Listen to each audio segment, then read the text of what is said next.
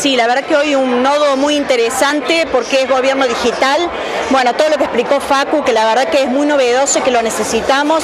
Hoy sabemos que los vecinos están demandando esto, ¿no? Que el Estado no disponga más del tiempo de los vecinos, que sabemos que es mucho, desde tener que ir a la municipalidad, hacer un trámite o sacar los turnos en el hospital. Hoy todo se puede hacer mediante la tecnología, mediante una app en el teléfono y no sale caro para el municipio, simplemente tener la decisión política y la voluntad de, de hacerlo y que hoy la gente nos lo está demandando.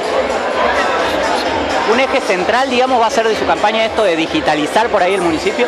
Sí, uno de los ejes centrales es esto, que ya lo, lo, anunciamos cuando hicimos el lanzamiento de campaña, y bueno, pero no está cerrado, nosotros seguimos escuchando, los nodos siguen trabajando, están tenemos muchísimos profesionales que están saliendo las propuestas de gente que sabe y que sabe cómo hacerlo, porque muchas veces nos quedamos en un discurso y después si nos toca asumir no estamos preparados. Y estamos completamente preparados para gobernar con gente que sabe de lo que habla, como por ejemplo Facundo eh, y todas las personas de los nodos que nos acompañan que son profesionales.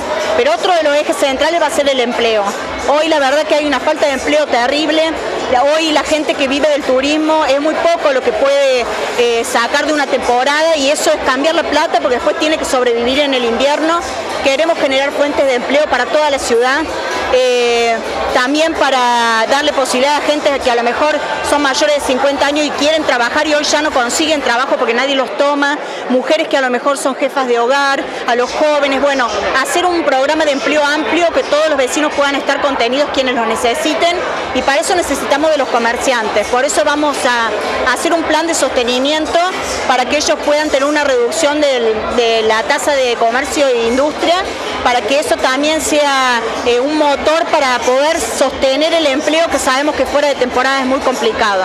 Y luego eh, lo de infraestructura, que es un plan muy ambicioso, pero que sabemos cómo hacerlo, que tenemos la experiencia y la capacidad para llevarlo adelante, que es bueno, 100% de cloaca, eh, donde no se puede a los biodigestores, pues sabemos que hay zonas de la ciudad que no se puede, 100% gas, 100% asfalto y 100% luminarias LED. Mañana sabemos que están recorriendo las calles, ¿qué les dicen los vecinos? ¿Qué necesitan? Todo esto porque la verdad que nosotros no hicimos las propuestas antes de escuchar. Hace mucho tiempo que venimos escuchando y las propuestas salen de la necesidad de la gente. Empleo, eh, bueno, el tema del transporte que ya lo vieron en la presentación, eh, el tema de, empleo fundamental, eh, el tema del turismo, no trabajar solamente una temporada, que ya una temporada es una semana o dos, 15 días, sino tener turismo todo el año, sabemos cómo hacerlo también, romper la estacionalidad con cultura, con deporte, con educación. Hoy el turismo es transversal a todas las áreas y la verdad que estamos preparados para llevarlo adelante. Mariana, eh, también tu lista le da un lugar importante a lo que son los jóvenes, ¿no?